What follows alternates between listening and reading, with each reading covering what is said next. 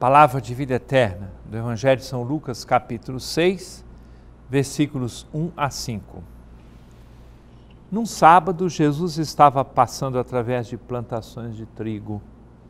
Seus discípulos arrancavam e comiam as espigas, debulhando-as com as mãos.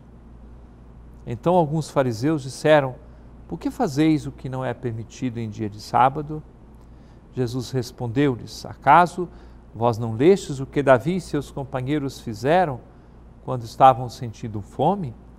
Davi entrou na casa de Deus, pegou os pães oferecidos a Deus e os comeu, e ainda por cima os deu a seus companheiros.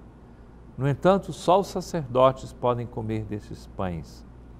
E Jesus acrescentou: O filho do homem é Senhor também do sábado. Caríssimo irmão, caríssima irmã, Hoje é sábado.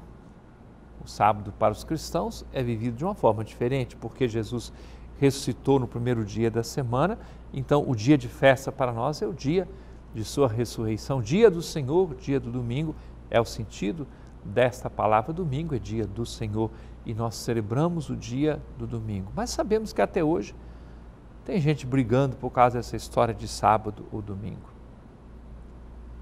Porque as pessoas se fixam em algumas palavras da lei e não são capazes de fazer aquela passagem para a novidade que vem em Jesus Cristo, que, como diz agora, é Senhor também do sábado. Tanto que ele ressuscitou no dia seguinte ao sábado, primeiro dia da semana.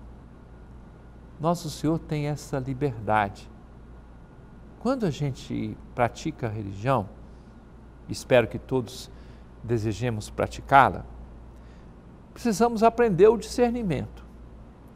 Quando eu tomo textos do Antigo Testamento e quero aplicá-los ao pé da letra, sem levar em conta o contexto em que esses textos foram escritos, eu posso ficar somente na palavra e posso usar mal o Antigo Testamento até para matar as pessoas.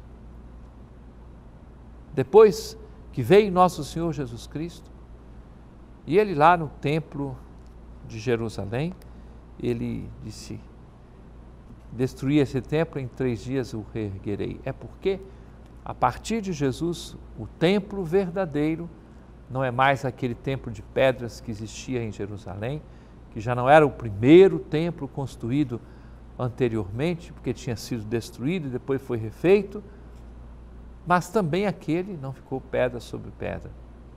Por quê?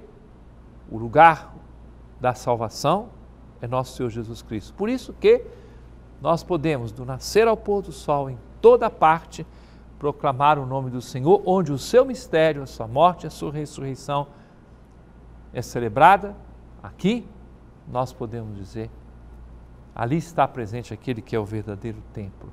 Ali está aquele que é o Senhor do sábado, aquele que é o Senhor da lei. Então nós nos sentimos absolutamente livres e porque queremos viver a norma da caridade, é muito mais exigente para todos nós do que qualquer norma do Antigo Testamento. Palavra de vida eterna.